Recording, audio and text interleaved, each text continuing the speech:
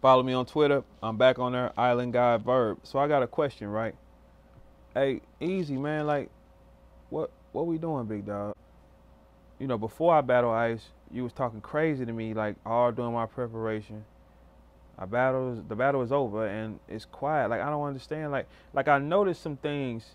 See, battle rap has turned again, and what I'm gathering is surfing whoever would surf run the yard right now all you marks is quiet. Like y'all accepting. I'm watching them say anything they want to y'all, and y'all just accepting it.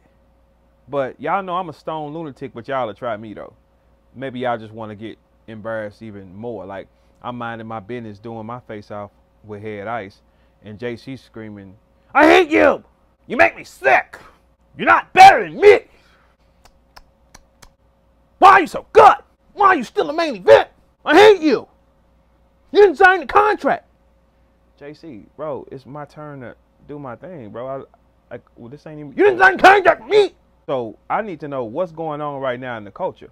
Can somebody comment and explain to me when did the culture just all fall in line? Like and everybody just accepting whatever? I, we ain't never been like that, man. Surf can spit in y'all mouth and y'all will be happy.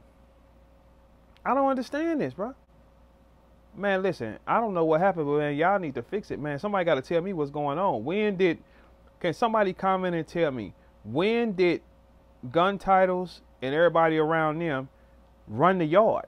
Because when I walked away, it was a gang of different people, different tiers of people doing different things.